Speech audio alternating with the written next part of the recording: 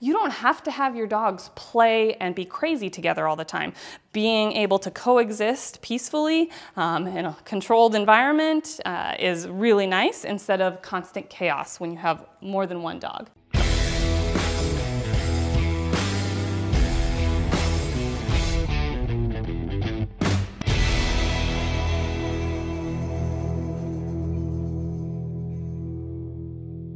Hey guys, Kat here from Standing Stone Kennels, and I've got our newest member of the family, Aerial. She is from Flight Level Kennels, and her registered name is Flight Levels Gunnin' for Trouble. Uh, it's kind of a fun little name.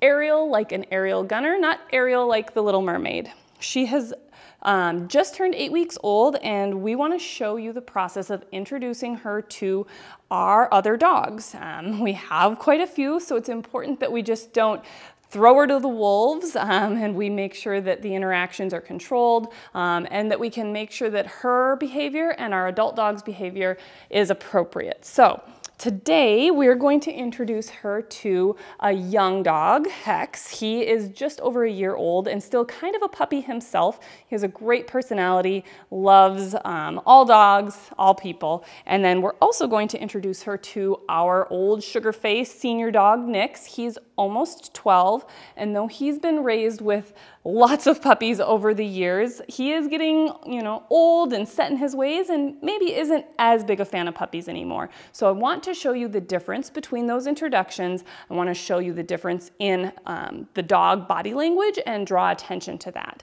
So to set this up, I'm not just going to set her down and let her go meet her friend. I'm going to actually put a little leash, long leash on her, so I have more control over her so she can't just romp all over the place or go immediately jump on uh, Hex and maybe startle him or be too rough with him right away, as well as I'm having Hex just hanging out on a dog bed. He's not actually being asked to stay there, he's just relaxing there. So if he wants to come meet her, he can. If he wants to leave the area and not interact with her, he can also do that as well. I'm also not having anything out like bones or treats or toys, anything that's a super high value resource that could be guarded or um, create any uh, tension over, shall we say. So let me go ahead and get her long leash on and then we will get her introduced to Hex. Okay, so I've got my long leash on. I think Hex says he wants to say hi. So before I actually even set her on the ground, they can sniff each other a little bit. Yeah, we got a big tail wag. Look at that personality out of Hex. We got a little puppy tail wag out of Aerial. Uh, this is really great initial introduction. So like I said, he doesn't have to be on his dog bed. He can come off of his dog bed. You know, he is excited, but he's not necessarily 100%. See his ears pinning back a little bit?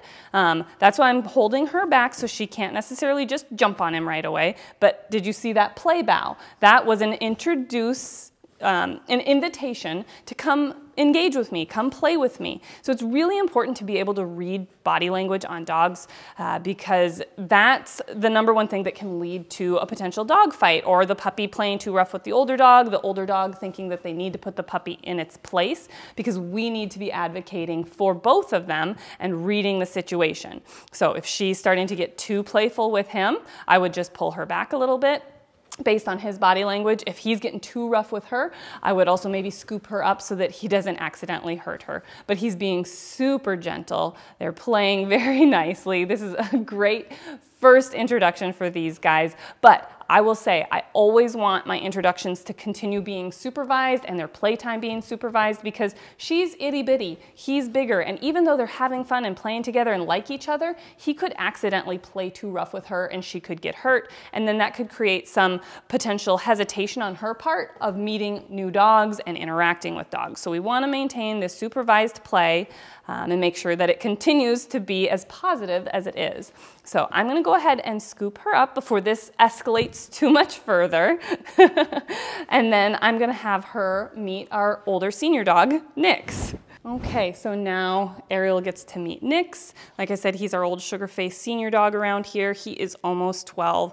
He's met puppies before, but we're gonna start that process. His body language you can see is a lot different already than Hex. Hex was excited, tail wagging, standing up, more engaged. Nix is a little bit like, meh, I don't know about this.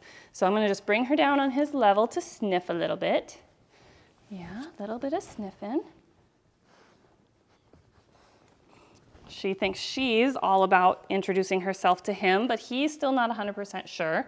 You know, he's not coming off of his dog bed to meet her. So we're gonna, like I said, interact slowly, keeping her back so that she can't necessarily just pounce on him right away. So because he's not really engaging like Hex was, she's already a little bit disinterested in him, which is fine. You don't have to have your dogs play and be crazy together all the time. Being able to coexist peacefully um, in a controlled environment uh, is really nice instead of constant chaos when you have more than one dog. So let's see if there's any other interaction. You know, she's trying to chew on him right away, his collar.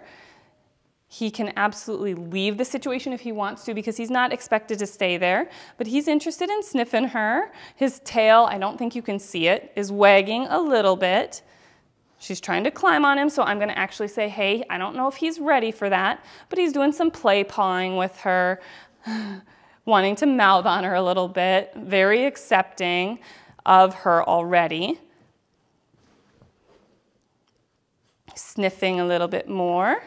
Again, she's already, you know, a little less interested in engaging with him because he is not inviting as much play as what Hex was doing. So she's, if you will, reading the dog's body language and reading the room and understanding that he's not as inviting to play as what Hex was. And she's already accepting that and reacting to that environment. So, or reacting to that body language of his, which is good. His tail is still wagging. It's not as up and as excited, but he is still having a positive engagement with her for sure.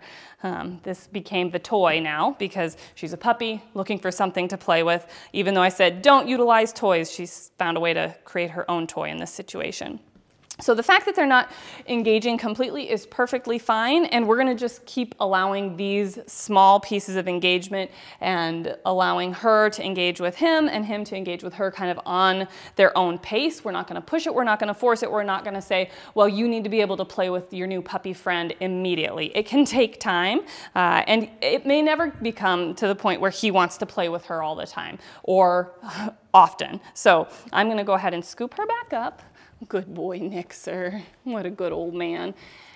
And we will continue to monitor their interactions, let them play together supervised, um, and let you know how her development goes because we're also going to show you how we introduce puppies to our children because that is even more chaos than introducing puppies to dogs.